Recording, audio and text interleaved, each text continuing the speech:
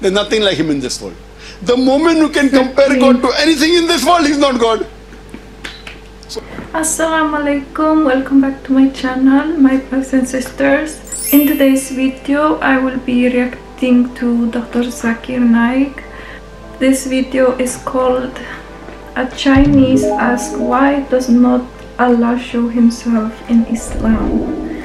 This is very interesting. Many non-Muslims wonder about this and actually they don't believe in God because they can't see him. So let's see what Dr. Zakir Naik has to say about this. Communication Engineering. Actually, uh, this is my uh, question from my friends, a non-Muslim. Uh, uh, she asked me this question, but I cannot answer it. Okay, uh, question is why uh, Allah, uh, our God, not show itself like another region God, like uh, she's uh, God, uh, she is a Chinese. Uh, she know the physical of their gods, and she know about the power of their gods. So why uh, Allah not show itself? Thank you.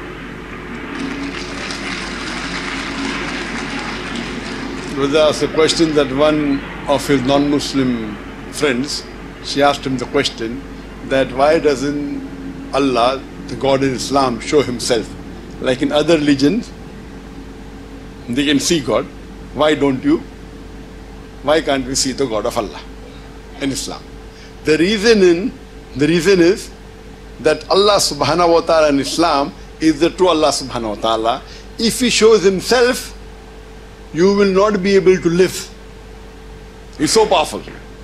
And the example we have in the Quran in Surah Taha, when Musa says, Oh Allah subhanahu wa ta'ala, I want to see you. So Allah says, I will show my glimpse to the mountain. You look what happens to the mountain. So when Musa turns his head to the mountain, Allah shows his glimpse to the mountain and Musa salam faints. That is the power of Allah. It's so powerful that we human beings in this stage, we cannot see. And the definition of Allah is given in Surah Ikhlas, chapter number 112, verse number 1 to 4, which says, Qul huwallahu ahad. Say Allah one and only. Allahu samad. Allah the absolute eternal.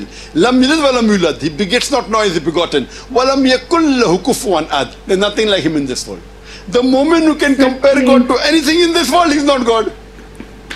So any other That's religious so people say this is God. The moment you can compare God to anything in this world, he is not a true God. That's this is so the four-line definition so of Allah subhanahu wa ta'ala, of Almighty. God.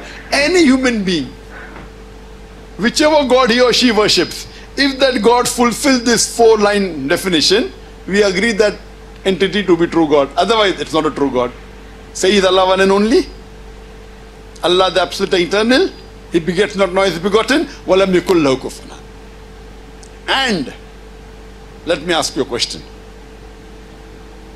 Which is the highest reward that you can think you can get, brother? Where's the questioner? Where's the questioner gone? Where did you go? Can you stand, brother? Yes, correct, yes. I'm right. You are, I'm right. Brother, which is the highest reward you can get? Highest reward that a Muslim can get. Jannah. Right? Is there anything higher than Jannah? No. Yes? Someone said yes? Yes? Is there anything higher than Jannah? Seeing Allah, right? Just tell the answer. No. Is there anything higher than Jannah? Yes. Tell.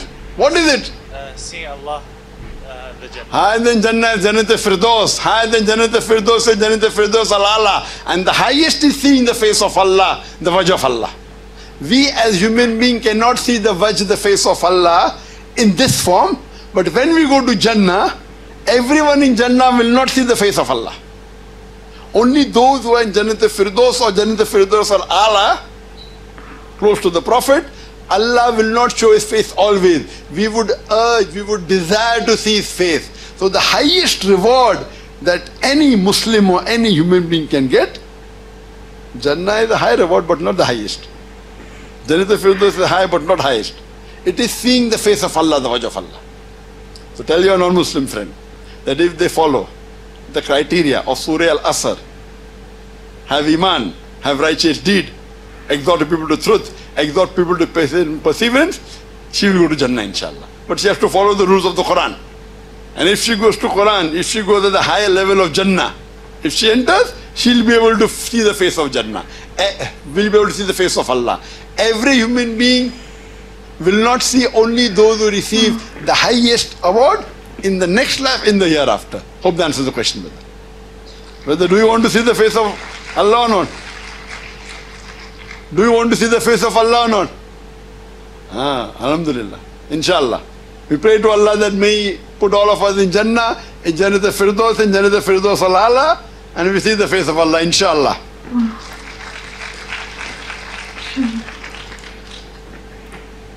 It's crazy that people in this world wants to see Allah when not even people who go to Jannah, not even everyone there can see the face of Allah.